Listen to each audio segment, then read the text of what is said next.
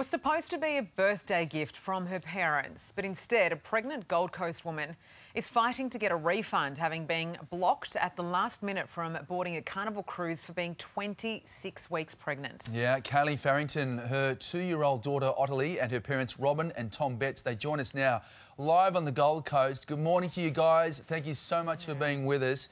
It's been an awful time, I know. Mm. Kaylee, let's start with you. Can you explain to us what's happened here? Yeah, good morning. Um, look, it was a bit of a shock to be honest. We uh, were really excited for a weekend away. It was my first time ever cruising, um, and my mum booked it late last year, and so you know we thought everything would be fine. And we turn up at the terminal. Uh, my daughter and I actually got checked in at that point in time, and then. Um, there was an error in terms of the date of birth for my um, stepdad Tom here, and um, the gentleman that was serving turned around to speak with his uh, manager, and that's when they looked at me and were like, "You're pregnant," oh. and uh, everything went downhill from there. I mean, it is pretty shocking, really, in this day and age. To it's almost, I mean, it's a sense of discrimination. You're only 26 weeks pregnant. There's not necessarily any danger associated with that. And Tom, you know, for you, this was a gift that you'd bought for your for your stepdaughter, and so disappointing for the family. Yeah, I mean, I was traveling with, I was with Thorn with these three roses, and we sort of have this duty as, a, as the only guy in the group to protect them. And we get there, and they basically send her off the boat so you're not getting on, and tell us we can go, though. My wife and I, Robin, can go. Uh, I mean, it was, it was just not only shocking, but also handled very, very badly. And then we were told, of course, that there's no refund because we, we violated some term of some contract. Oh, well, Robin, let's talk about that because you booked this trip for your daughter's birthday in October last mm. year. She was already pregnant. Um, and were you aware at all of that policy? I think it's clause 14 in that policy, which bans women who are more than 24 weeks pregnant. Were you aware of this at all? Absolutely not. When I actually booked the cruise, I knew Kaylee was going to be pregnant, but still in like about 26 weeks. And knowing what you know with flying and things like that, that's like 32 weeks. I knew we weren't going to another island, we weren't leaving Australian waters. And when I booked it, as you're booking it, they give you some important information, like if you're on mobility scooters or some other little bits of information, nothing to do with pregnancy.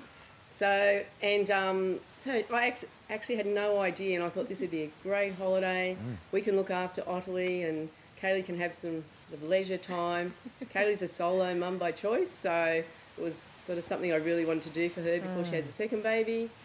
And it just all fell apart. We took oh. time off work and everything, but more so it really upset Ottilie because she's like two and she was so excited and all she said now is, what is it Ottilie? A naughty boat.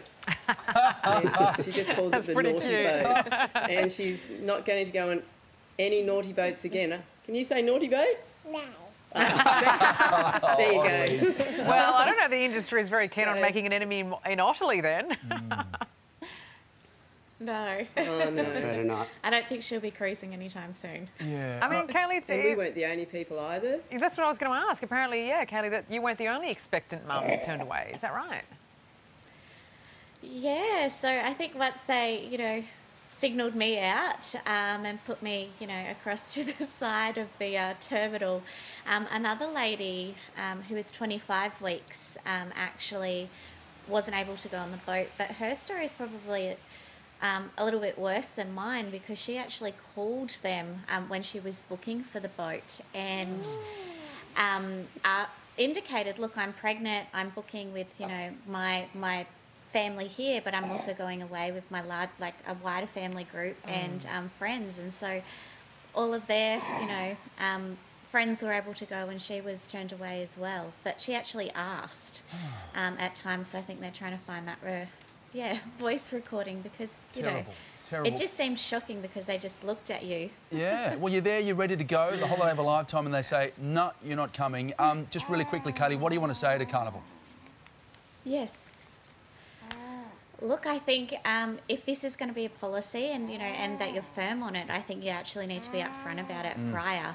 Um, my parents could have booked this boat, you know, two months prior without, you know, me being pregnant at that point in time, and this would have happened. Like, I think they needed to actually really prompt or have more prompting questions or actually, you know, provide more details.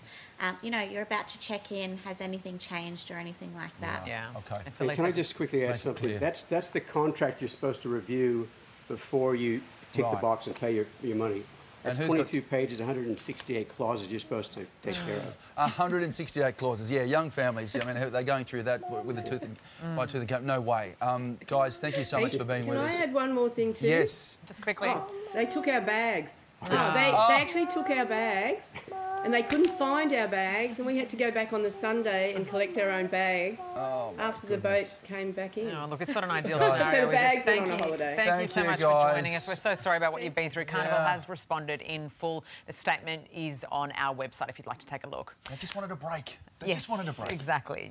Hey there, Today fans. Sarah and What's my name again? oh my goodness, Karl. Hey, thanks for watching our YouTube channel, though. Subscribe now for more news, special reports, and amazing Aussie stories. And Karl misbehaving, Whoa, of course. that never happens. always happens. What's she talking about?